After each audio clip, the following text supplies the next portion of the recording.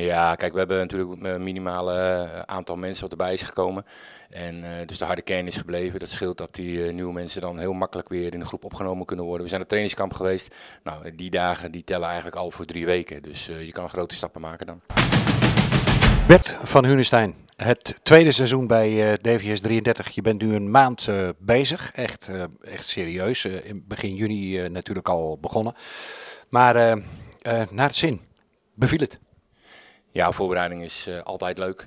Vooral omdat je dan uh, goed kan zien hoe de groep uh, weer met elkaar gaat samenwerken. Je kan je trainingsstof weer goed kwijt en het is het mooie moment om je speelwijze erin te slijpen. En wat nog leuker is, is dat iedereen ongelooflijk veel zin in heeft en dat werkt altijd prettiger. Dat betekent dus dat het met de, de teamgeist wel goed zit, Bert? Ja, dat sowieso. je merkt nu dat wel dat het wat spannender wordt natuurlijk, nu de posities een beetje vergeven gaan worden. En dat doet ook altijd wat met de groep, maar dat is het logisch gevolg. Dat is inderdaad een logisch gevolg. Um, heb je het idee dat de nieuwe groep uh, al behoorlijk is uh, ingeburgerd? Ja, kijk, we hebben natuurlijk een minimale aantal mensen wat erbij is gekomen. En uh, dus de harde kern is gebleven. Dat scheelt dat die nieuwe mensen dan heel makkelijk weer in de groep opgenomen kunnen worden. We zijn op trainingskamp geweest. Nou, die dagen die tellen eigenlijk al voor drie weken. Dus je kan grote stappen maken dan. Even voor de kijkers, je bent een beetje aan het transpireren, maar dat is ook vrij logisch, want je hebt net een kwart triathlon achter de rug, hè? Ja, wij gaan zometeen met een groep uh, trainen zometeen voor de wedstrijd uit. En uh, de temperaturen zijn nog niet dusdanig dat, uh, dat ik dat heel rustig kan doen. Dan kun je zeggen, ja, dan moet je beter delegeren dat anderen doen, maar doe maar. Ben je tevreden over de oefenwedstrijden die er geweest zijn? Verleden jaar ja, klaagde je nogal over het feit, ja, toen stonden die oefenwedstrijden eigenlijk allemaal een beetje vast. Dat er wel wat meer weerstand geboden mag worden. En dat is dit seizoen absoluut het geval. Maar DVS presteerde ook behoorlijk. Ja, maar toch merk je wel dat die wedstrijden wel uh, uh, wat doen met de spelers ook fysiek. Hè. Je wordt uitermate goed getest uh, in die wedstrijden. En daarom hebben we nu ook even een tussenperiode, zoals dat heet. Om ervoor te zorgen dat ze hun lichaam weer helemaal kunnen laten herstellen. De, de basisconditie is, is hoog. Explosief vermogen van de jongens is enorm toegenomen in deze wedstrijden. en daarnaast teamtactisch kun je natuurlijk hartstikke veel uit die wedstrijden halen. Dus ja, kijk, je hoeft niet altijd alle wedstrijden te winnen. Als je er maar je leermomenten uithaalt en meteen weer toepast op de volgende wedstrijd. Ik heb zo het idee, eh, ik heb de diverse, ja, bijna alle oefenwedstrijden gezien, maar uh, je hebt niet een, een goede basis met 11 spelers. Je hebt er niet 14 goede spelers. Volgens mij heb je er wel 16 of 18. Je hebt heel veel keuze, Bert, hè?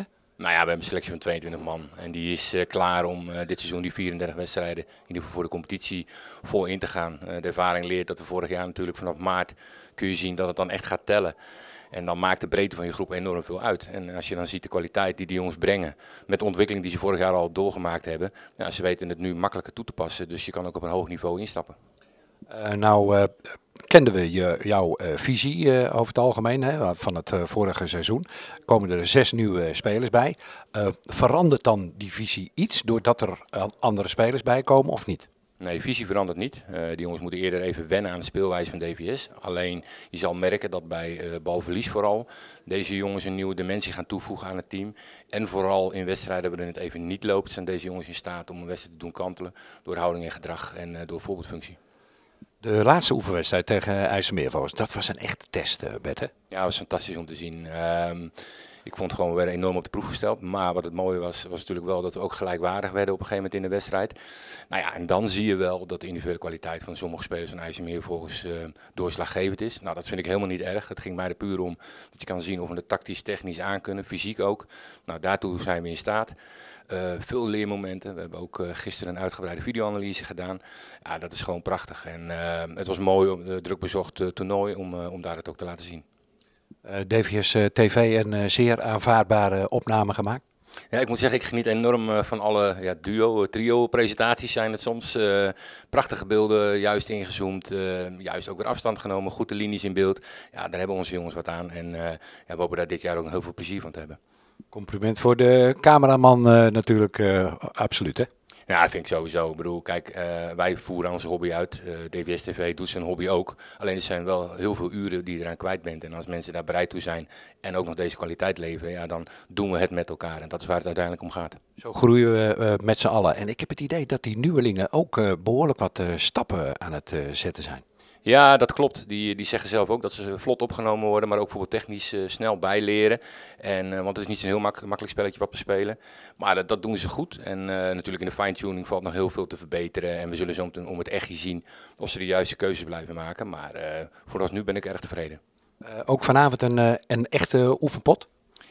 Uh, ja, in die zin dat een uh, groot gedeelte niet zal spelen. We laten jongens spelen die uh, de laatste tijd wat minder minuten hebben gemaakt.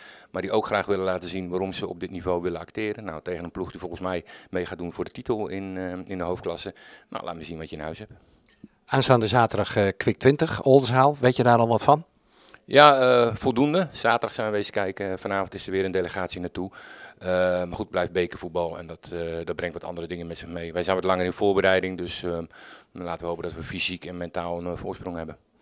Heel veel succes de komende bekerwedstrijden en dan op naar de eerste competitiewedstrijd, Bert. Ja, zin in. Dankjewel.